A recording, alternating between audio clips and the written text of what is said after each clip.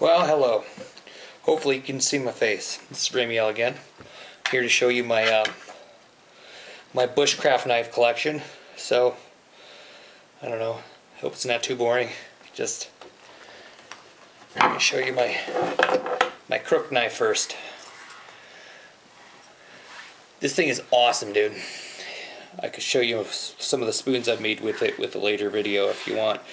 But um, this is from the North Bay. Can see it says North Bay on it. It's um, their small crook knife. And let me tell you what, you know, I had a Mora crook knife for a long time and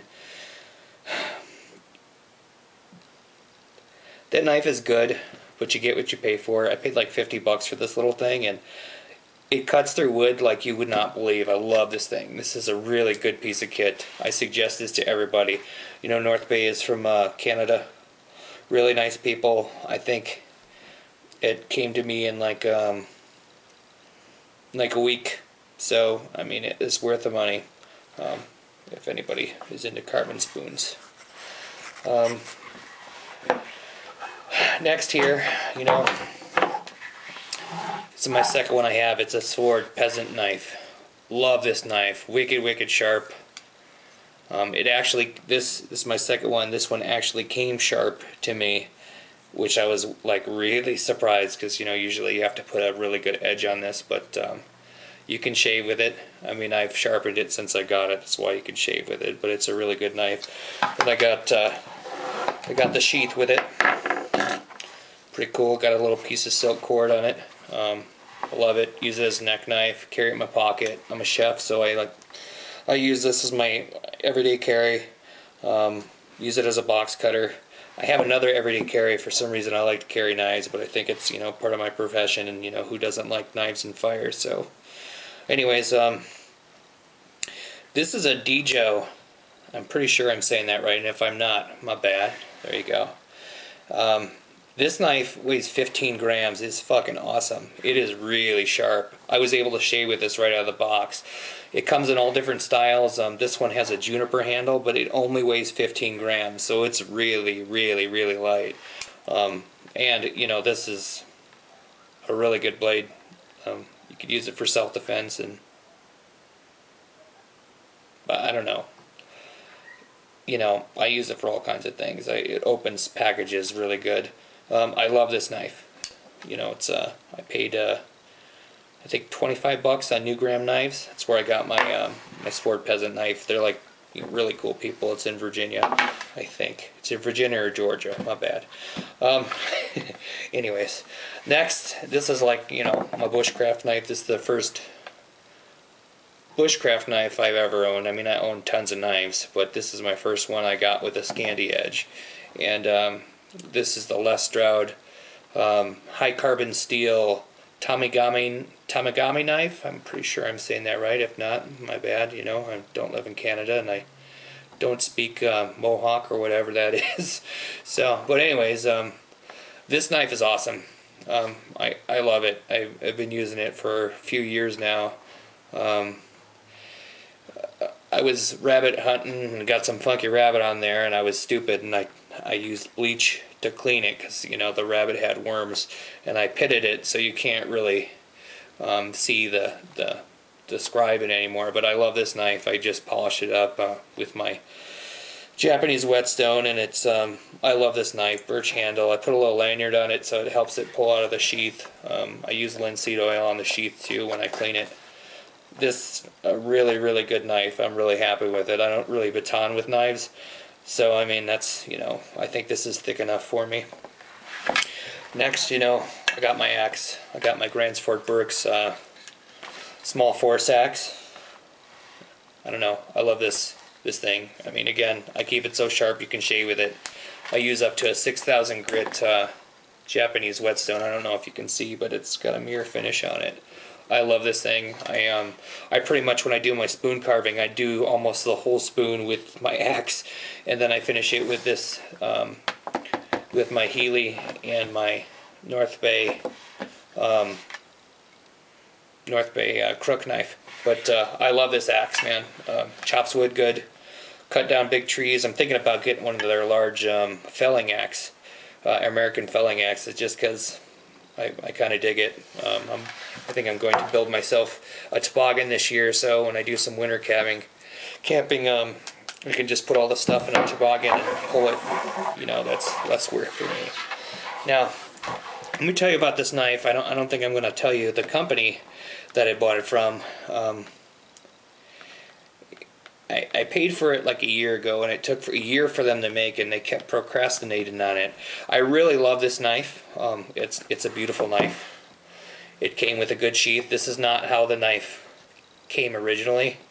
Um, here's the sheath. I asked for them to make it uh, so I can side mount it on my belt, but they designed it to go like this in here. It's it's really cool. It's got a little keeper. It's got a lanyard keeper that goes over your, hold on, let's see if I can do this. Goes over your blade so it doesn't fall out, which is awesome. The only thing is, is it was designed to go on the front of your belt. And me being a guy, I don't know if I, you know, this is kind of big to be having by your, your personal business. You know, I think you know pull pull this thing out, you know, and it's it's sharp. I, I don't really like that. I was thinking more of the small of the back. So if you put it on the small of the back, it'd be sitting like this, you know, on the small of your back. When you reach around, you have to reach around backwards, which it's not how I would have wanted it. I, I, I think, you know, it should have been, they use the right-handed sheath, which I am right-handed, but when you flip it upside down, I think you need the left-handed sheath, but you know, hey, um, what do I know? I'm, I'm not really a knife maker. What I don't like, I don't like this because the way they mounted it, they want you to use this on the front of your belt and you know I just think that you know this the weight of the knife you know might rip the stitching eventually. But there is you know you know little copper rivets on the inside so I don't know if that'll happen. I just I kind of wish it was flipped like this and in reverse because I'm right-handed. But you know I can mount this on the back you know and I, I don't think it's too bad. I don't know if you can see, but you know when you're holding behind you, I mean I think that's kind of good pulling it out like that. I would have rather pulled it down, but you know I can't complain. Um, real beautiful knife. I you know, I paid like a thousand dollars for this knife. I know it's a little bit much, but uh, I don't know. I wanted it for like five years, so I made really good money last year, so I, I paid for it and I don't know, I paid an extra hundred dollars for this lanyard and I'm really not very happy with this lanyard. I mean, I could have did this myself and it would have cost me like, you know, four bucks. So I, I you know, I looked on the site and they had lanyards with beads and shit on it and uh, you know, I thought that was really cool because they were hand carved, but um, I don't know.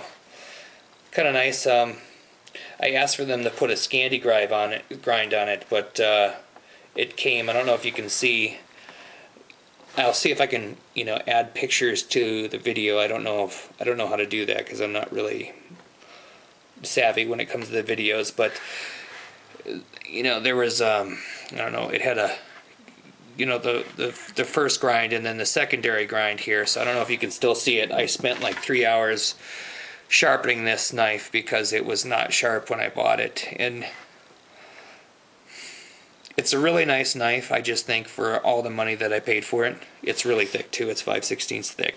For all the money that I paid for it, like there's it's it's the details. I think when you pay for an investment for something that you're going to have for you know probably the rest of your life, you know, it's the little details. I don't know if you can see right here on the um, the brass hilt. It was more filthy, more filthy than it is now, you know, I cleaned it up. The handle didn't have a lot of shine to it. I cleaned it up. It was filthy and added um, linseed oil.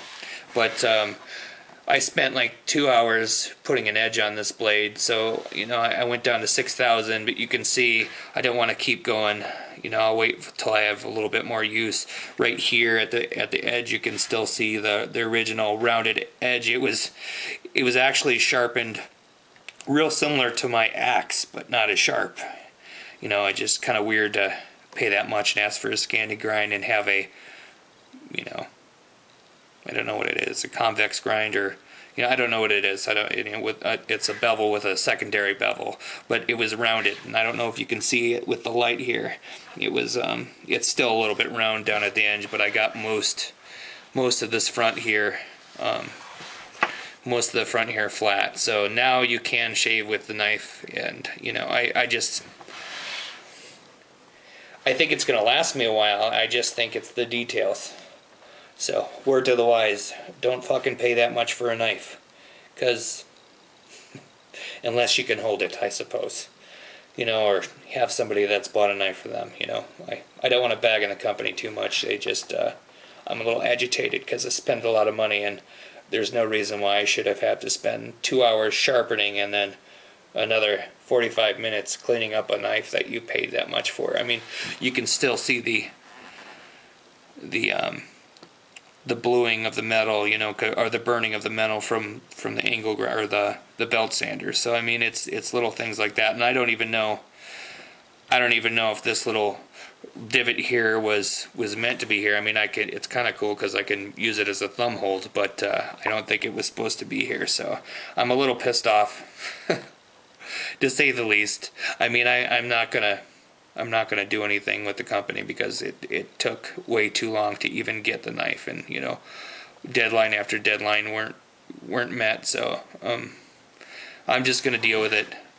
You know, I think once I you know sharpen it a little bit more, I can get the roundness and maybe get the the blade you know to my standard. Um, because you can shave with all my knives. I mean, it's my profession, and you you know you really can't carve or have a useful knife if it's not sharp. So, um, I mean, it's nice now, but uh, when I got it, it was, you know, I was not happy. you know the there's no there was cake all over here. Anyways, I'm just kind of babbling, but this is a pretty nice knife. I like it now. I'm gonna have to do a little bit of work on it, but um, I just wanted to show you my knives um, that I use. So, believe it or not, this Svord Peasant knife came sharper than my thousand dollar knife, which is fucking crazy. Anyways, that's my story, and I'm sticking to it.